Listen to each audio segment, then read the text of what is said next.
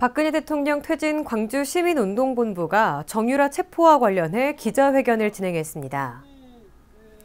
광주 시민운동본부는 3일 5.18 민주광장에서 관계자 30여 명이 참석하는 기자회견을 열고 정유라 씨의 신속한 신병 인수와 헌재 탄핵 판단을 촉구했습니다. 특히 이날 회원들은 99%의 새로운 대한민국 건설을 위한 촛불은 계속된다는 현수막을 내걸고 향후 대응에 대해 밝혔습니다.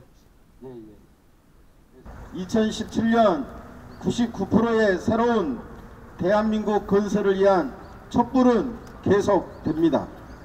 2016년 촛불 항쟁을 통해 우리 시민들을 대한민국의 주인 진정한 주권자가 되었습니다. 2016년은 강주 시민 40만 명이 금남로 촛불에 함께하며 박근혜 퇴진과 새로운 대한민국을 목놓아 외친 자랑스러운 한 해였습니다. 박근혜 퇴진 강주 시민 운동 본부는 2017년에도 금남로 촛불을 계속 이어갈 것입니다.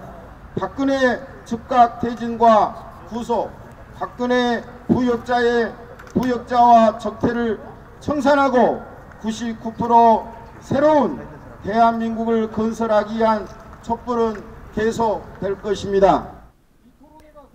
한편 광주시민운동본부는 오는 7일 촛불 릴레이 토론회와 11차 촛불 대회를 진행합니다.